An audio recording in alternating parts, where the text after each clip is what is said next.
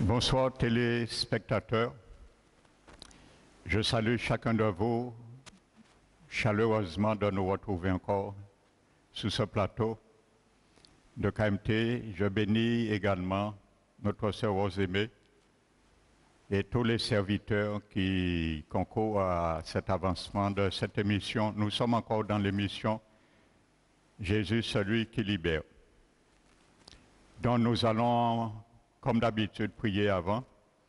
Donc, je vais t'inviter où tu es, si tu peux fermer tes yeux, pour recevoir la grâce de l'Éternel par la prière.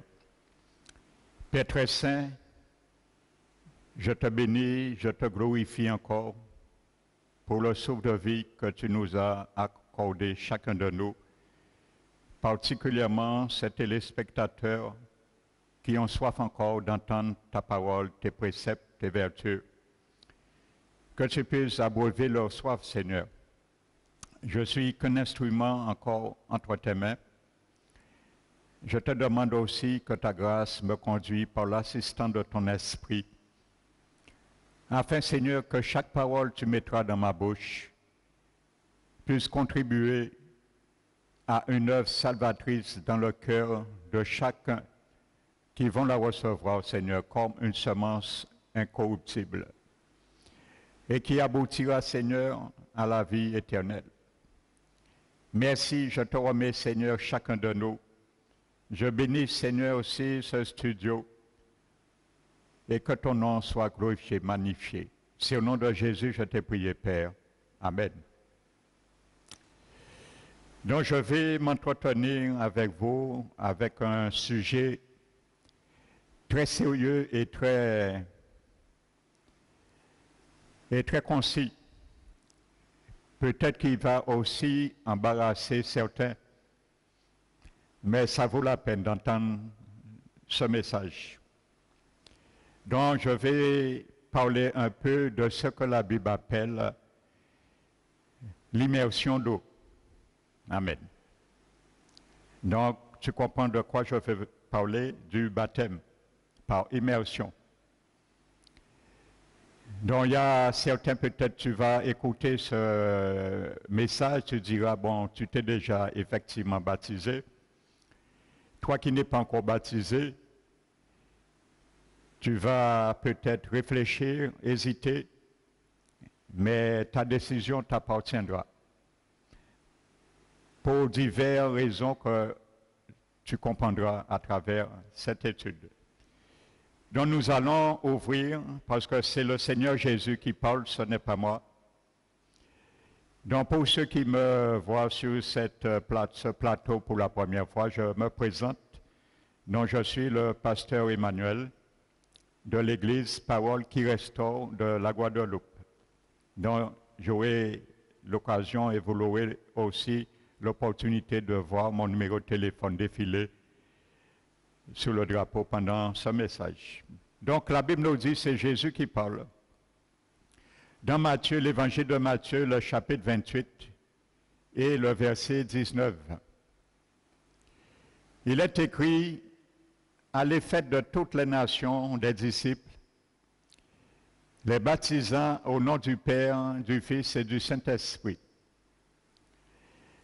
Et il dit, et enseignez-leur à observer tout ce que je vous ai prescrit.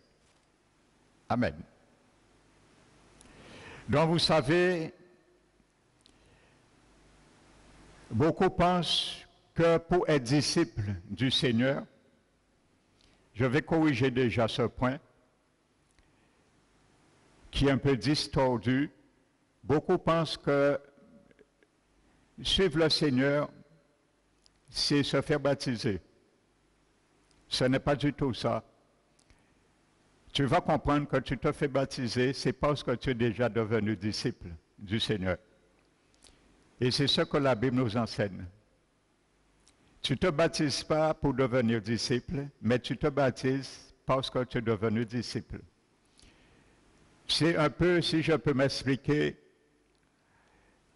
vous savez, bien souvent, nous disons, je suis un pécheur parce que j'ai péché. Non, tu ne deviens pas un pécheur parce que tu as péché, mais tu pêches, c'est parce que tu es un pécheur. Amen. Donc c'est la même réalité.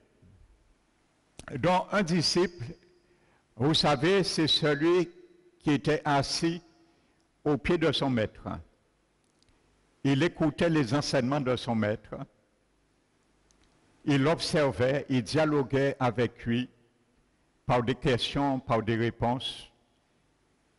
Et il essayait de son mieux de mettre en pratique ce que le, leur maître leur prodiguait. C'est ça un disciple. Donc Jésus, ayant ça à l'esprit, il savait que ses contemporains comprendraient ce qu'il disait.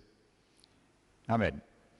Et vous savez, le mot qui était traduit par enseignez-le dans le grec, enseignez-le, c'est le verbe didas contes qui est dans le grec au participe présent. Ça veut dire ce participe présent relève le processus continu de l'enseignement et qui a pour objet de cet enseignement, c'est de garder continuellement ce qui a été gardé, ce qui doit être gardé plutôt ou observé. Donc ça veut dire que le disciple ne commence pas le jour qu'il a commencé à entendre le Seigneur lui parler en tant que maître, mais c'est un processus qui continue jusque toute sa vie. Amen.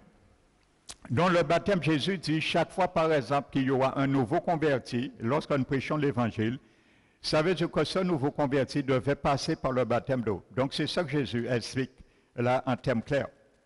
Amen. Regardez ce qui est dit dans le livre des Actes des Apôtres.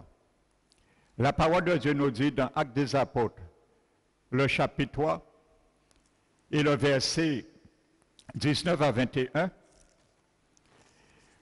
Donc l'apôtre Pierre, en parlant, en réglant une situation qui a été mal comprise, l'apôtre Pierre leur dit maintenant, il les offre le moyen de revenir au Seigneur dans leurs échecs, dans leurs erreurs. Et l'apôtre Pierre, dans le livre des Actes des Apôtres, donc si tu es chez toi, tu as l'opportunité de prendre un bic et une feuille, donc je te conseillerai et je t'inviterai encourager à prendre les références pour que tu puisses les avoir.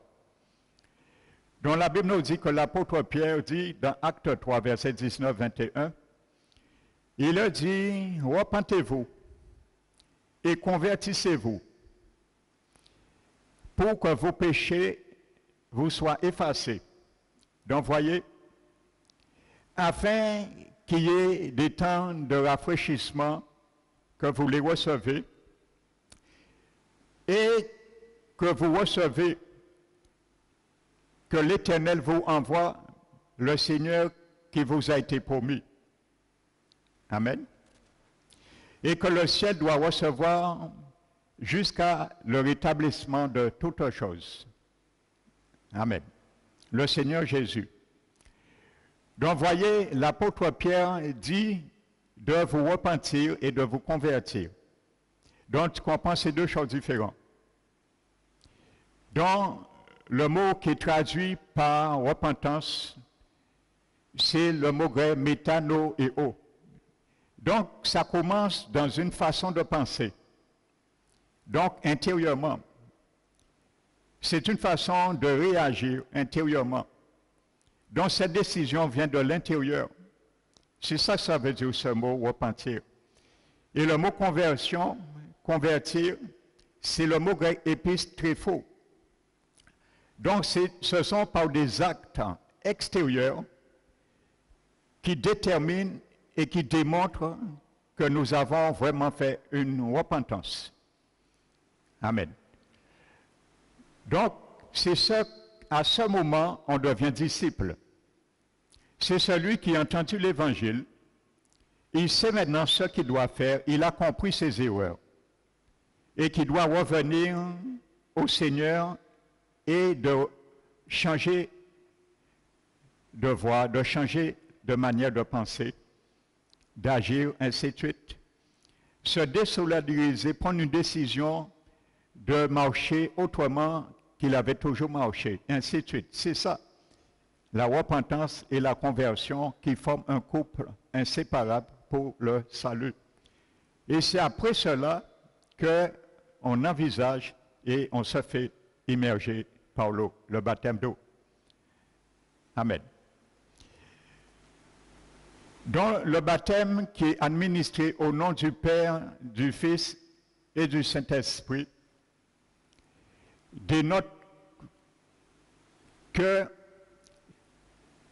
c'est une prise de position. C'est un engagement, mais je reviendrai tout à l'heure sur le mot engagement, et un volte-face. Ça veut dire c'est comme si tu as, lu, tu as lu un contrat et que tu dois signer pour entrer pleinement dans ce contrat. Donc si tu es d'accord, tu signes le contrat, les clauses, et tu t'engages à respecter et à honorer les clauses. Donc le baptême, c'est ça. Ça veut dire, étant convaincu ce que Dieu a fait pour toi par sa mort, la délivrance, la libération par son sang, Jésus-Christ t'apporte, donc tu t'engages à vivre pour lui maintenant, que tu t'appartiens plus. Donc tu signes un bail et le baptême d'eau, en quelque sorte, succinctement, je t'explique, c'est comme si tu signais un bail. Tu signais une alliance, un contrat. Mais tu ne signes pas n'importe quel contrat. Ce contrat s'appelle un CDE. Ça veut dire contrat à durée éternelle. Donc tu signes un CDE avec ton Seigneur. Nous allons le comprendre. Vous savez, Paul l'explique cela merveilleusement dans le livre de Colossiens, le chapitre 2. Amen. En parlant du baptême, le baptême a beaucoup d'images spirituelles. Je n'aurai pas le temps de m'entretenir, malheureusement, avec toi surtout, mais je viendrai sur l'essentiel. Le livre de Colossiens, le chapitre 2, le verset 11 à 15, l'apôtre Paul dit que c'est en Christ que vous avez été circoncis. Non d'une circoncision de main, de la main, à fait, parce qu'effectivement, la circoncision consistait à retirer une partie du prépuce du corps physique avec les mains. Mais il dit ce n'est pas une circoncision de la main, mais une circoncision de Christ. Et cette circoncision, Colossiens de nous dit, consiste à quoi? Dans le dépouillement du corps de la chair. Amen. Vous savez ce que la Bible appelle la chair? Il y a deux mots grecs qui traduisent pour le mot chair. Il y a le mot soma. Ça veut dire c'est notre chair humaine que je touche? Ça, c'est ma chair. C'est le soma qui représente la chair de mon corps. Mais il y a un autre mot grec que la Bible en parle, emploie pour chair. C'est un autre mot qui veut dire c'est une nature corrompue en nous. Et ça veut dire, la chair en quelque sorte, c'est une combinaison de notre âme avec notre corps qui se révolte contre la volonté de Dieu. Ça veut dire qu'il il se met en coalition majoritaire pour ne pas obéir et faire ce qu'il veut. Donc c'est comme ça l'homme qui ne connaît pas Dieu marche normalement. Donc, Colossiens de nous dit, donc cette circoncision consiste dans le dépouillement du corps de la chair. Et il dit au verset 12, ayant été enseveli par le baptême avec lui Jésus. Vous voyez? Donc, l'usage déjà du baptême considère le baptême, c'est parce que tu es considéré que tu es mort. Pourquoi? Parce qu'il y a un jugement de Dieu qui est tombé sur toi. Donc, ce jugement, tu es mort. Et tu acceptes ce jugement sur toi, qui est juste, parce que c'est la justice de Dieu pour tes péchés. Donc tu es mort. Et vous voyez, la Bible dit bien, ayant été enseveli avec Jésus par le baptême. Donc comme tu es mort, l'ensevelissement, tu décris par ton baptême que tu es d'accord que tu es mort. Tu n'existes plus, tu ne vis plus, parce que tu es enseveli, on t'a enterré. Donc ça veut dire que quand on t'immerge dans l'eau, c'est ça que ça veut dire. Tu es enterré. Si tu t'appelles X, ton nom c'est X, ça veut dire que Monsieur X a disparu sur le livre du Seigneur Jésus. Il ne connaît plus cette personne. Cette personne n'existe plus. Et vous savez, quand quelqu'un est mort, lorsqu'il est poursuivi par la justice, c'est là toute poursuite s'arrête. Et on classe le dossier. Donc ça veut dire que personne ne peut te poursuivre ton passé, pas même le diable. Parce que je vais te démontrer tout à l'heure, Jésus dit, il détruit ce dossier. Donc en quelque sorte, c'est une forme du baptême.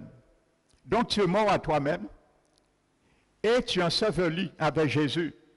Parce que Jésus était mort, il a été enseveli trois jours dans la tombe et il est ressuscité. Donc, tu t'identifies à cela. Ton baptême, c'est un acte d'identification à cela. Et par la foi que tu le fais, en la puissance de Dieu, vous êtes aussi ressuscité avec lui. Donc le baptême te montre que tu ressuscites. Mais tu es mort, comment tu peux ressusciter? Je viens te dire tu es mort et tu es enterré. comment tu peux ressusciter? Donc tu vois bien, c'est quelqu'un qui est mort qu'on enterre. Je n'ai jamais vu, on va voir un, service de pompe funèbre et on lui dit, bon, je suis venu pour un cercueil, pour enterrer un tel, et la personne n'est pas morte. On n'enterre pas un vivant. Donc il faut être vraiment mort pour être enseveli. Mais quand la Bible dit nous sommes aussi ressuscités par la foi, par la puissance de Dieu qui a ressuscité Jésus, ça veut dire que lorsque nous faisons immerger, nous sortons dans l'eau, ce n'est pas toi qui sors dans l'eau. Comprends ça, téléspectateur aujourd'hui. Parce que tu es mort, tu t'appelais X, tu es mort pour Dieu. Tu n'existes plus pour Dieu. Et quand tu ressuscites, ce n'est pas toi qui ressuscites, c'est quelqu'un d'autre qui ressuscite. Donc, si, pour comprendre, si tu es mort, tu t'appelais X, maintenant tu ressuscites, tu t'appelles X2. Donc, c'est ça. Ça veut dire que ce n'est pas toi qui vas vivre, parce que tu es mort, tu es enseveli. Mais la personne qui va vivre en toi, c'est Jésus. Et c'est pour cela la Bible dit, tu vas ressusciter avec lui, pour la puissance de Dieu qui l'a ressuscité.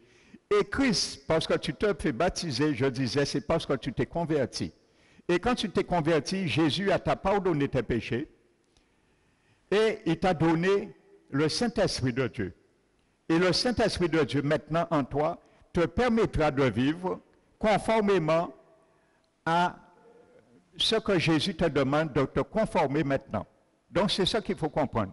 Quand la Bible dit tu es mort en Christ et tu es ressuscité aussi en lui. Amen. Et il continue. Il dit au verset 13, vous qui étiez morts par vos offenses et par l'incirconcision de votre chair, il vous a rendu à la vie par grâce, en vous faisant grâce pour toutes nos offenses. Et ensuite au verset 14, il dit, il a effacé dont les ordonnances nous condamnaient et qui subsistaient contre nous. Il est là cloué à la croix et il a dit, il a dépouillé les autorités, les dominations et il les a livrées publiquement en spectacle en triomphant d'eux à la croix. Donc je vais t'expliquer qu'est-ce que Paul explique par là. Vous savez, à l'époque, lorsque quelqu'un était débiteur, il devait à l'État de l'argent, donc on savait que cet homme était débiteur. Mais un jour, le jour qu'il a réussi à payer ses dettes, il y avait un huissier qui passait et avec un clou qui affichait sur la porte de sa maison, sa demeure, un écriteau et qui disait plus de dettes. Donc on savait maintenant que cet homme était acquitté et était libre. Donc c'est ce que Paul explique. L'acte dans les ordonnances qui nous condamnaient, il y a un livre qui est ouvert sur toi, mon ami. Écoute ça très sérieux, prends ça très au sérieux. Vous savez, chaque jour des gens meurent avec ces crises Covid. On ne sait pas notre lendemain. Afin que demain, tu ne sais pas ce qui peut t'atteindre. Ma prière que le livre qui est encore sur toi écrit puisse être effacé avant. Et que ce soit libre de toute créance d'être envers ton créancier. Le spirituel, je parle. Donc, Paul explique que par le sang de Jésus, du fait qu'on est devenu disciple, comme Matthieu 28 le dit, du fait qu'on accepté Jésus, sa grâce, le pardon des péchés, et que nous avons concrétisé cela par le baptême d'eau, ce jour-là, tous tes péchés sont pardonnés. Le dossier qui te condamnait, qui subsistait contre toi, est détruit. Le jour où Jésus est monté sur la croix. Et maintenant, quand la dit qu'il a dépouillé les autorités, les dominations, il les a livrées publiquement spectacle, le jour où Jésus monté sur la croix, c'était ceux et celles qui étaient chargés comme précepteurs pour venir vers ce, vers ce débiteur. Et vous savez, le diable aussi nous accuse. C'est ça que Paul explique, les dominations, les autorités. Donc, il les a dépouillés. Ça veut dire, mon ami téléspectateur, le jour où tu acceptes Jésus, peu importe ce que tu aurais fait, quand tu aurais fait des crimes, quand tu aurais fait des vols, peu importe, même le diable ne pourra pas t'accuser. Parce que Jésus a dépouillé, il a livré publiquement spectacle ceux qui t'accusaient. Et il n'y a aucune condamnation sur toi. Donc le baptême te dit aussi que tu es d'accord que ton dossier soit détruit. Donc, pourquoi Paul parle de circoncision de Christ qui consiste à le dépouillement de la chair, il faut savoir, la circoncision faisait mal. Vous savez, lorsqu'on coupait un morceau de chaque mâle à partir de 8 ans, c'était la loi mosaïque. Et c'était un signe d'alliance que Dieu avait contracté avec Abraham, ça faisait mal. Mais la circoncision ne consiste pas avec la main, comme il est marqué dans Colossiens 2, mais Jésus. Ça veut dire que qui est assimilé à un baptême, un ensevelissement par le baptême. Ça veut dire que quand tu te baptises, c'est comme si Dieu t'amène dans l'eau, dans le baptême, et il prend un couteau et il coupe. Quand tu es dans la mer, l'eau, il coupe ce que tu aimais pour te détacher de certains liens, pour te détacher de certaines choses que tu aimais faire. Donc c'est ça que Paul explique l'incirconcision de notre chair, que nous étions morts par nos offenses et l'incirconcision de nos chairs. Mais maintenant, il nous a fait grâce pour toutes nos offenses et il nous a rendus à la vie. Donc, il faut attendre le jour où tu prends une décision de te faire baptiser, c'est parce que tu dois être conscient de cela. Qu'il y a des choses que tu ne dois plus faire. Il y a des choses que tu mets, que tu seras obligé d'arrêter. Amen. Parce que dans le contrat, il y a aussi des clauses d'obligation et d'interdiction. Donc, peut-être tu réfléchis là, mais tu dis, mais il y a un problème là, en m'écoutant. tu dis, téléspectateur, mais comment j'étais nourrisson et j'ai pu être baptisé? Est-ce que j'ai un devoir de comprendre tout cela Donc maintenant, c'est toi qui dois voir et concevoir si tu es déjà baptisé ou pas. Ce n'est pas moi qui te le dira. Parce que le baptême, tu vois, il faut avoir une conscience éveillée, une maturité pour faire ces choses, pour se décider soi-même. Et le baptême, on ne décide pas pour toi, c'est toi qui dois décider. Le jour où Jésus s'est fait baptiser, si tu ne le sais pas, tu sais à quel âge Jésus s'est fait baptiser Il avait 30 ans. Ni Marie, ni Joseph n'ont jamais baptisé Jésus lorsqu'il était nourrisson. Et Jésus, c'est lui qui nous parle là, Matthieu 28. Ce n'est pas n'importe quel homme qui nous parle, c'est Jésus le grand Dieu véritable. Amen. Qui l'a imposé, institué le baptême d'eau par immersion. Amen. Romains 6. encore merveilleusement, d'ailleurs le livre de Romains, le chapitre 6, c'est le livre, le chapitre idéal pour comprendre le baptême d'eau. Mais je vais passer succinctement sur cela. Mais il dit dans le chapitre 6 et le verset 1 à 4. Ce sont des gens, qui, des chrétiens qui sont déjà baptisés d'eau, qui se sont déjà engagés au Seigneur, mais qui continuent à vivre dans leur péché. Alors il leur dit dans Romains chapitre 6, le verset 1, il dit, que dirons-nous donc? Alors Paul disait, en quelque sorte, mais nous avons un problème, on ne peut pas comprendre. Que dirons-nous donc? Vivons-nous dans le péché afin que la grâce abonde? Il dit loin de là. Nous qui sommes morts, vous voyez, nous qui sommes morts au péché, c'est ça, quand tu t'immerges dans l'eau, le Seigneur prend couteau, il coupe le cordon ombilical qui te liait avec l'amour du péché. Ça ne veut pas dire que tu ne vas pas pécher hein, de temps à autre, mais tu seras conscient tu vas t'interpeller, tu vas te repentir, tu vas demander à ton Seigneur pardon. Mais celui qui n'est pas encore sous l'alliance du Seigneur, qui n'a pas l'Esprit de Dieu en lui, il n'est pas convaincu de péché, de jugement, de justice. Donc il fait le péché comme quelque chose qui est normal, parce que notre conscience est éteinte. Amen. Ma conscience l'était un jour aussi, moi qui te parle.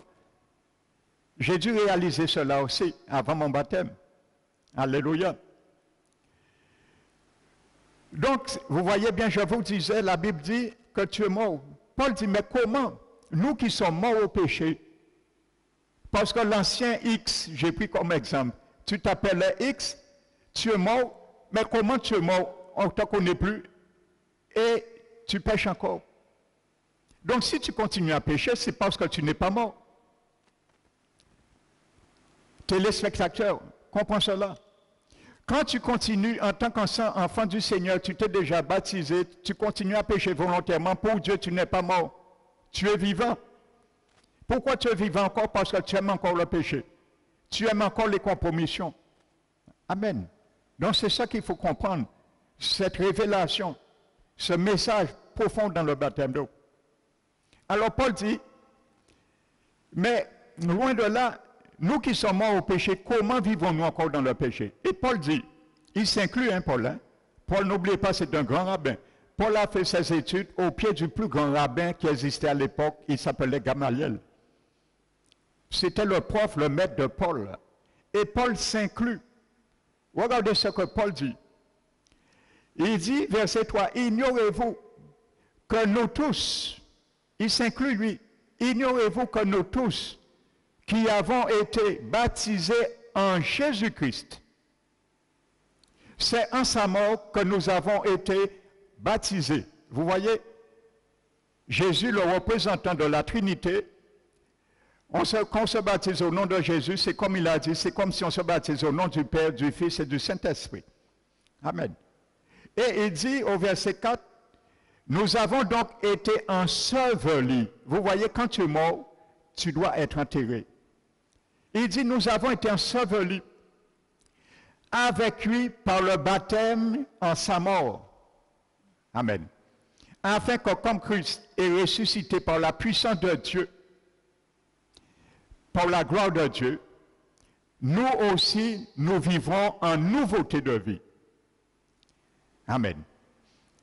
Donc vous voyez, le baptême t'explique et te dit que tu dois prendre un engagement de vivre en nouveauté de vie. Pourquoi? Parce que l'ancien homme qui s'appelle X, il n'existe plus. Donc c'est un nouveau homme qui vit. Mais ce n'est pas toi qui vis, c'est Jésus qui vit en toi. Je m'explique. Ça ne veut pas dire Jésus ontologiquement va venir vivre à ta place, faire tout ce qu'il te demande à ta place. Non. Comme Jésus est en toi par le Saint-Esprit qui t'habite, ça veut dire que Jésus va te dire maintenant, je prends un exemple, tu aimais par exemple aller dans les bois de nuit tous les samedis. Je prends un exemple parce que c'était un peu mon cas. J'allais pas dans les bois de nuit. C'était pas encore courant, mais j'aimais beaucoup aller danser le samedi. En plus, j'étais un grand danseur en Guadeloupe, j'étais très connu. J'avais une certaine réputation pour cela. Donc, le Seigneur va te dire, maintenant mon fils, ma fille, tu sais maintenant, tu dois arrêter de faire ces choses. Parce que je vis en toi et je suis un Dieu saint. Donc je ne tolère plus cela. Donc tu dois arrêter cela. Donc l'enseignement de Jésus va continuer, persister en nous. Peut-être tu ne vas pas arrêter cela du jour au lendemain, mais progressivement, l'Esprit Saint en toi qui est un ministère d'interpeller, un juriste qui va te convaincre de justice, de jugement et de péché, il va à chaque fois réquisitionner cela en toi pour que tu comprennes et un jour tu vas arrêter. Mais ce n'est pas avec ta propre force, c'est la force de Jésus qui agit en toi, dans tes faiblesses. Donc c'est ça, Christ qui vit en toi. Amen. Parce que tu reflètes maintenant l'image d'un autre royaume, le royaume de Jésus. Amen. C'est ça qu'il faut comprendre dans le baptême. Beaucoup on se sont fait baptiser et on ne les a jamais vus après dans aucune église. Comment ils peuvent continuer à être enseignés? Je vous ai dit, le mot grec est traduit par enseigne-le, c'est le mot didas contes, c'est au participe présent ça relève un processus dans l'enseignement. Alléluia. Et c'est pour cela que Jésus a mis des serviteurs et implanté son Église pour cela. Amen. Vous savez, quand nous regardons dans Exode chapitre 14, le verset 21 à 29, vous voyez, à un moment donné, le Seigneur libérait le peuple hébreu, les, Juifs, les Israélites. Lorsqu'ils ont passé à travers la mer Rouge, c'est par la puissance souveraine de Dieu qui a ouvert la mer. Ils sont passés à sec. Mais les Égyptiens sont passés avec eux. Et le Seigneur a refermé la mer sur eux, qui étaient leurs poursuivants, leurs ennemis, et ils sont tous morts. Si Dieu n'avait pas englouti les Égyptiens, l'ennemi qui faisait pécher le peuple le peuple juif ne serait jamais libéré. Donc ça veut dire, dans ton baptême, tu dis au Seigneur, j'ai considéré que je considérais le jugement sur ma vie parce que j'ai fait ce qui était mal à tes yeux. Et tu es un Dieu juste et saint.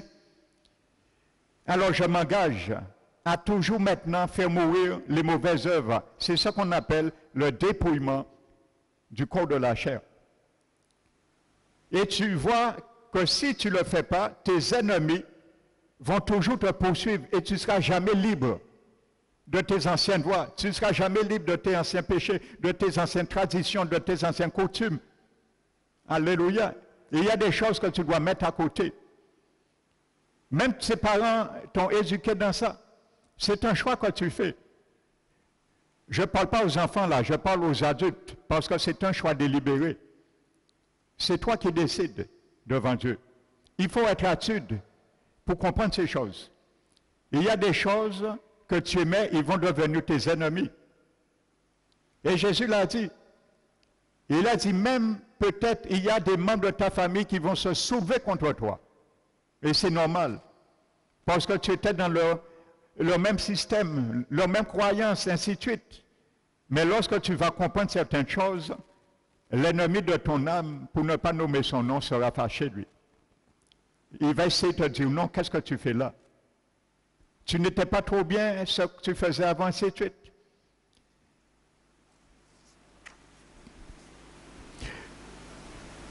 Donc je vais déjà vous dire quelque chose, parce qu'il y a tellement de choses que j'aurais pu partager avec vous sur ce sujet, mais malheureusement, j'ai une heure qui, qui passe très vite.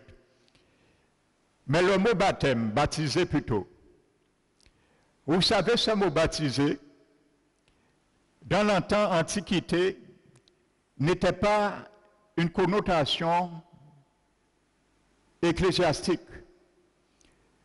Je vais t'expliquer l'origine de ce mot qui est rentré maintenant dans l'Église et qui symbolise ce que nous avions vu en tout. En grec, c'est le mot baptizo qui veut dire baptiser. Vous savez, avant ce mot était, on l'utilisait dans le monde séculier, et c'était un mot, un langage dans le, le, le corps de la teinturerie, qui consistait à prendre une bassine de teinture, par exemple, on met la teinture rouge dans une bassine, et on prenait un vêtement ou un bout de tissu et on immergeait. Sache que le mot baptisé, baptiso veut dire plonger ou immerger et non asperger. Donc, on immergeait totalement le tissu ou le linge et on le laissait tremper jusqu'à ce qu'il workait la couleur de la teinture.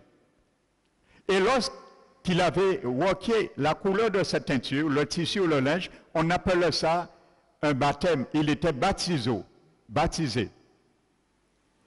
Donc, après, c'est venu comme usage dans l'Église.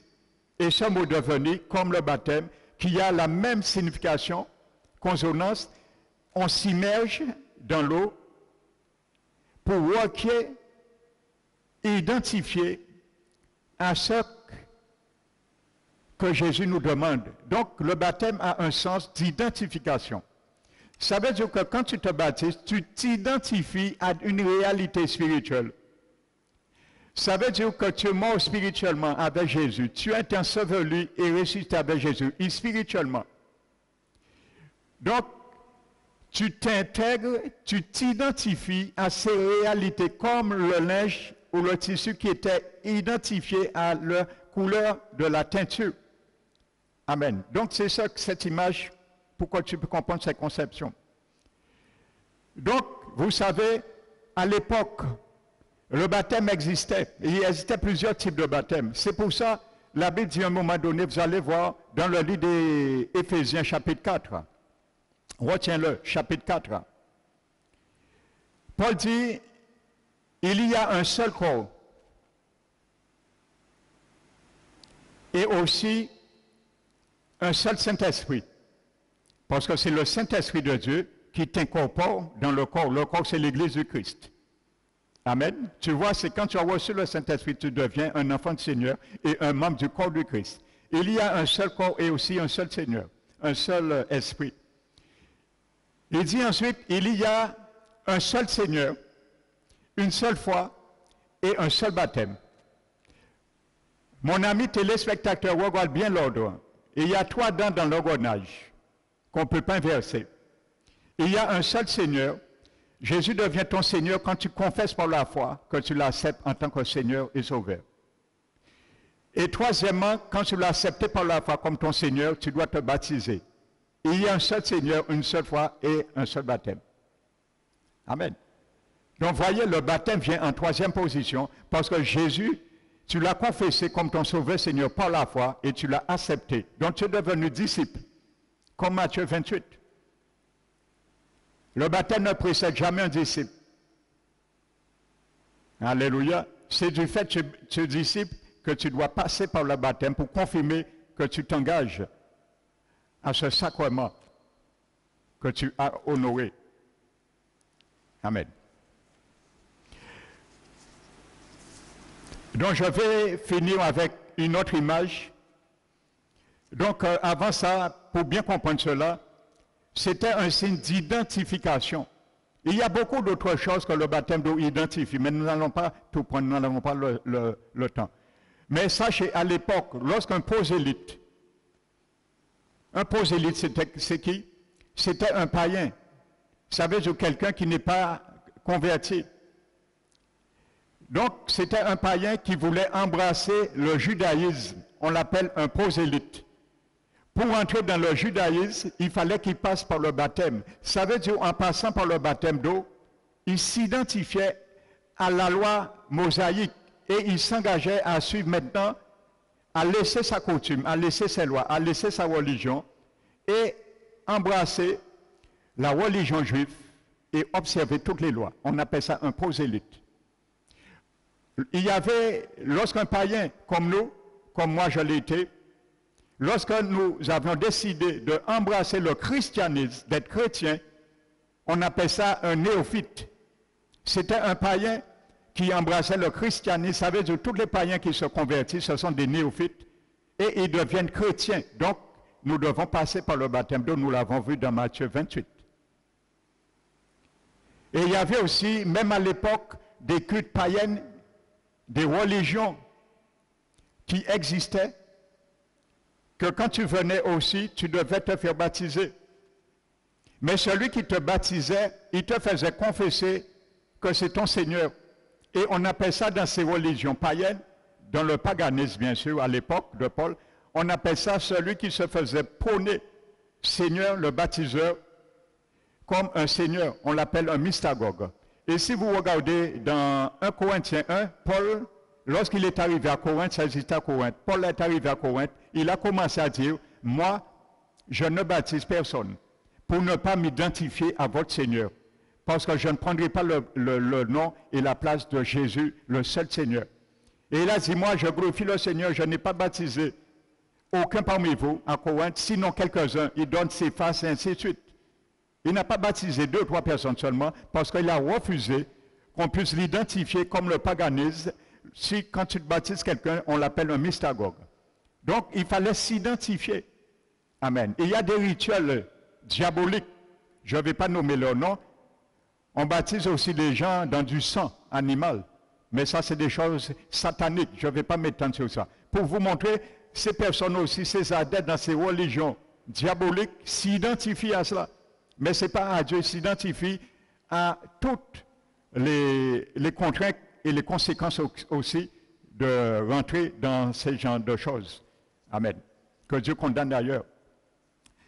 Maintenant, je vais conclure ce message et ça vaut la peine avec un Pierre, l'épître de Pierre, le chapitre 3 et le verset 21.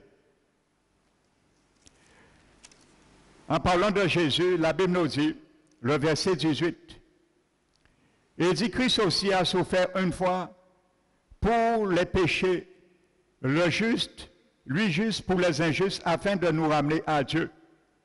Il a été mis à mort quant à la chair et ressuscité quant à l'esprit, dans lequel aussi il est allé prêcher aux esprits qui étaient en prison, qui étaient incrédules lorsque la patience de Dieu se prolongeait pendant la construction de l'arche et qu'un petit homme fut sauvé, lui, à travers l'eau. Et il dit que cette eau est une image du baptême, mais qui n'est pas la purification des souillures du corps, mais un engagement d'une bonne conscience envers Dieu. Et c'est ça qui sauve par la résurrection de Jésus-Christ.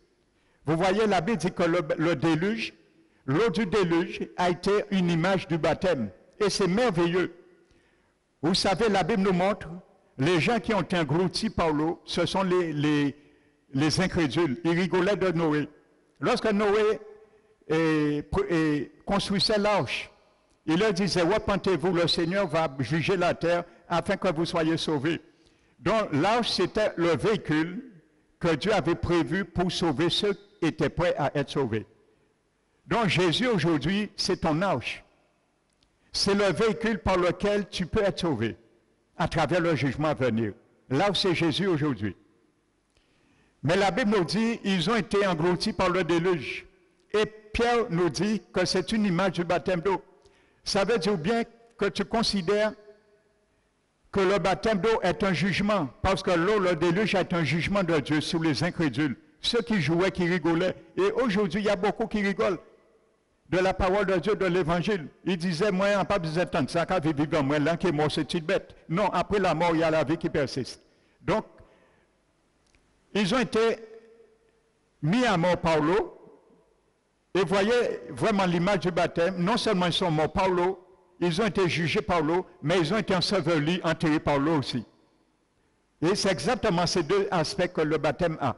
Tu meurs, tu es sous le jugement, tu as été frappé du jugement, parce que Jésus l'a pris pour toi. Le jugement que tu devais, Jésus l'a pris. C'est pour ça que tu dois t'identifier par le baptême à ce jugement. Parce que le jugement que tu encourais, Jésus l'a pris pour toi. Il a été frappé de la colère de Dieu le Père pour toi. Donc si tu n'acceptes pas le salut de Jésus, tu seras frappé un jour du jugement. Et c'est ça que Pierre explique, c'est une image du baptême d'eau. Donc ils ont été aussi ensevelis. Et la Bible nous dit, c'est un engagement d'une bonne conscience envers, Dieu. Amen. Donc, pour finir, vous savez, le mot grec est traduit par engagement là, c'est le mot épéothéma. Vous savez, ce mot grec décrivait ce qui se passait durant une transaction commerciale. Le mot qui est traduit par engagement, c'est un mot grec qu'on utilisait pendant une transaction commerciale, Épérotéma. Il y avait, dans cette transaction, il y avait deux hommes d'affaires qui entrent en discussion. il y avait un vendeur qui faisait ses propositions à l'acheteur et ensuite l'acheteur considère ce qu'il a dit. Et en fonction de cela, l'acheteur accepte ou refuse le marché. Donc, si Dieu a semblé bon par l'Esprit Saint inspiré ce mot épéothéma, qu'on a traduit par engagement, comprend quelque chose, et c'est une image du baptême. Quand tu te baptises, il y a deux hommes qui sont en discussion pour une transaction commerciale. Ça veut dire Jésus et toi. Amis téléspectateurs, quand tu acceptes Jésus, tu fais une action commerciale avec Jésus pour signer que je disais en préambule, un CDE. L'acheteur, c'est Jésus. Parce qu'il a payé déjà pour toi. Et le prix que coûtait ta rédemption est largement payé. Ça coûtait 36 d'argent. La Bible dit. Judas l'a vendu pour 36 d'argent. Et le 36 d'argent, c'était le prix qu'on achetait une esclave femme. Donc l'église est une femme. Jésus a payé pour son église 36 d'argent. La valeur d'une esclave féminine. si c'était un esclave masculin, c'était 25 cycles d'argent. Donc il y a une belle correspondance. Donc l'acheteur c'est Jésus et le vendeur c'est toi, en quelque sorte. C'est toi qui remets ta vie au Seigneur. Dans la Bible, ce qui se passait, l'acheteur avait son mot à dire, il accepte ou refuse. Donc s'il acceptait le, le marché, le vendeur, il accepte.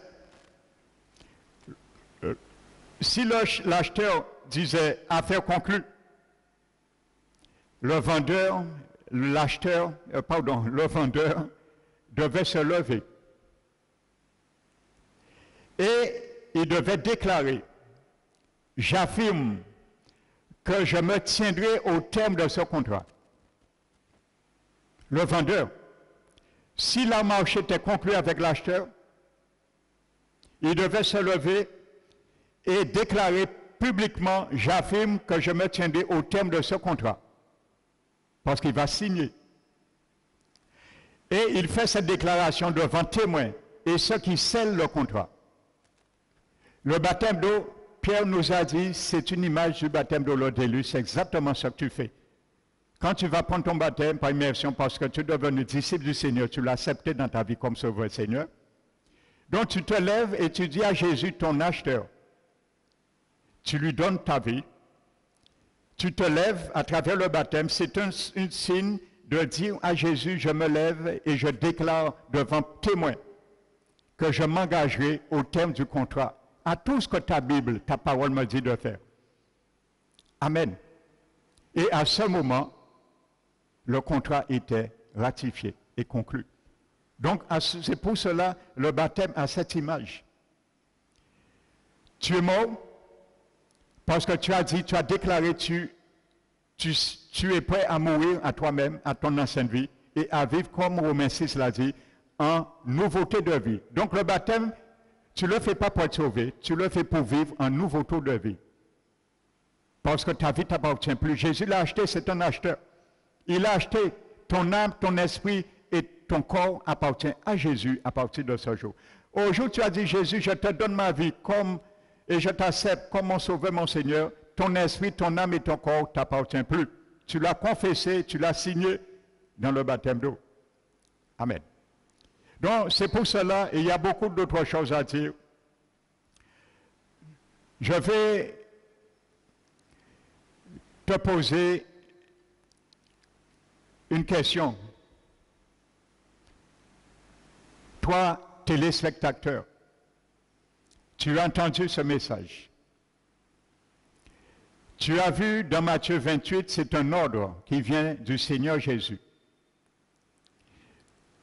Notre acte 2, acte des apôtres chapitre 2, le jour de la Pentecôte, il y avait près de 3000 pèlerins qui étaient venus pour la Pentecôte un peu partout.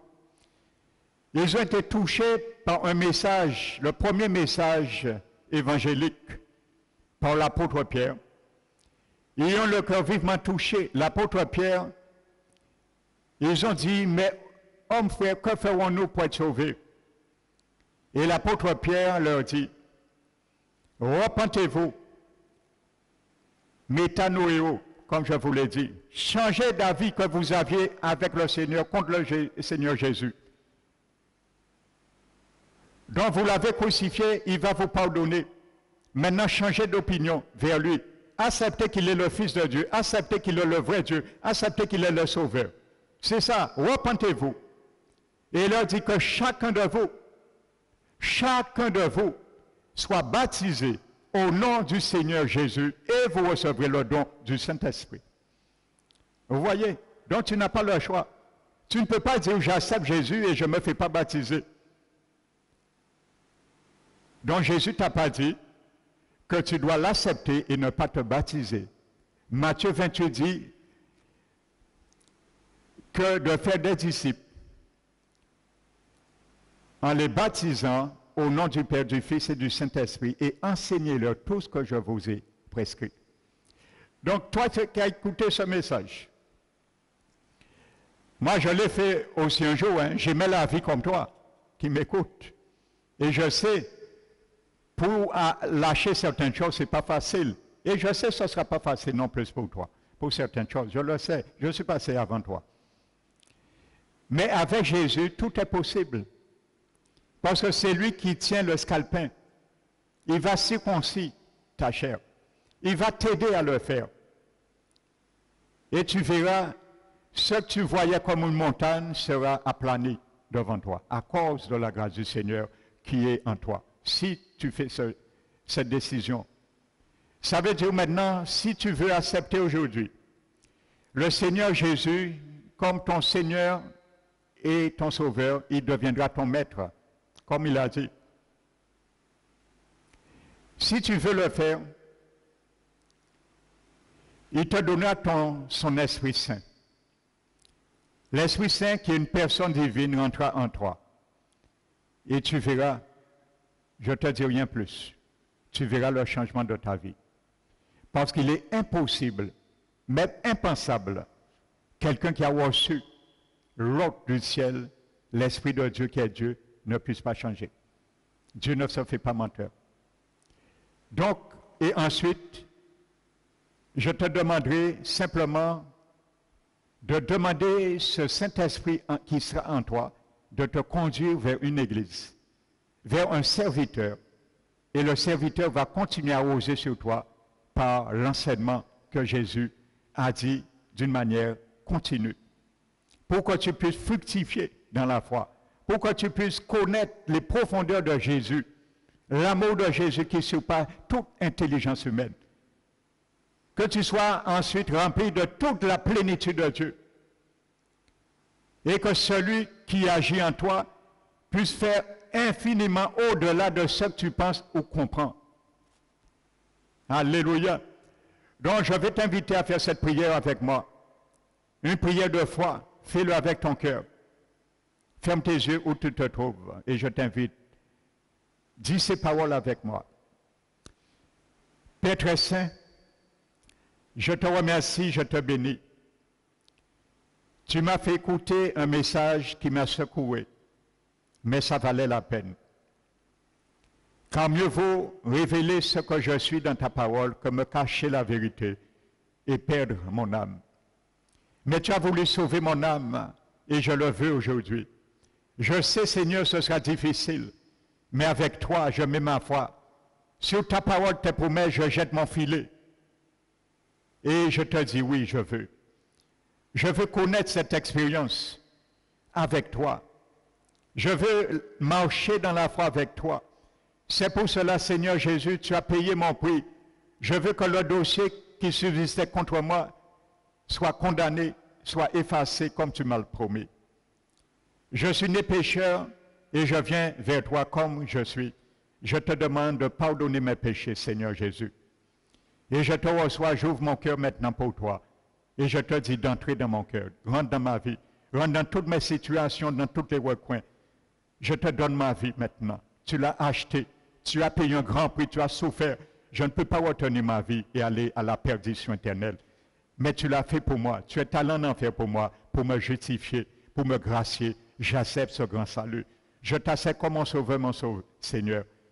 Donne-moi ton Esprit Saint et conduis-moi maintenant, comme j'ai entendu, vers une église, vers des serviteurs, afin que je continue de croître en grâce, en sagesse, en statut, en connaissance. C'est au nom de Jésus, Père, je te remercie. Je confesse que je suis pardonné. Je confesse que je suis lavé. Je confesse que je suis purifié. Je confesse que j'ai reçu ton salut et le Saint-Esprit que tu m'as promis. Merci, Père. Je te remercie au nom de Jésus-Christ. Amen. Alléluia. Donc, je vous demande. Donc, mon numéro de téléphone, c'est le 0690 63 45 15. Donc, si tu as besoin d'un sujet de prière, de visite à domicile, un programme, un rendez-vous, un entretien, peu importe la raison, l'objet, nous sommes là pour te recevoir. Si tu as besoin de délivrance quelconque, nous faisons aussi la délivrance. si tu te sens aussi, il y a des choses, des bizarreries que tu ne comprends pas chez toi, des bruits, peu importe, tu ne dors pas, tu sens comme chez toi, il y a quelque chose invisible que tu ne vois pas, mais que tu ressens, tu cherches la paix, tu ne trouves pas. Tu as déjà vu des moyens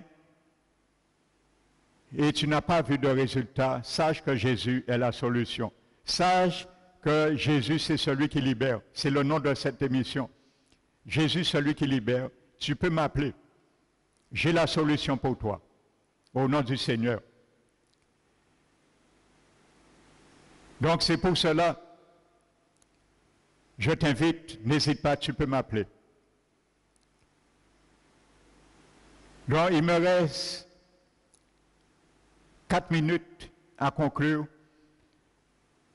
Je vais simplement donner une image, une référence encore que tu peux méditer dessus. C'est dans le livre de Ruth, le chapitre 1, et qui va encore te faire comprendre encore le sens vraiment du baptême. Parce que tu viens d'accepter Jésus, il faut envisager le baptême, tu n'as pas le choix. Il y avait une femme qui s'appelle Naomi.